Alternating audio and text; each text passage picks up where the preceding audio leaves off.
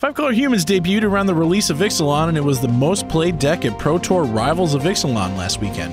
Combining a fast clock with lots of disruptive elements, Five Color Humans is the aggressive deck of choice in Modern. A big part of what makes a deck possible is the mana base. Since all the creatures are humans, this deck gets to cheat on its mana base in a big way. The payoff for a trio of narrow 5 color lands quick beatdowns, fueled by two different Innistrad blocks. A turn 1 champion of the parish can end a game very quickly, while a Thalia's lieutenant can break a crowded board wide open. The deck is very real. Check it out and more today at TCGplayer.com.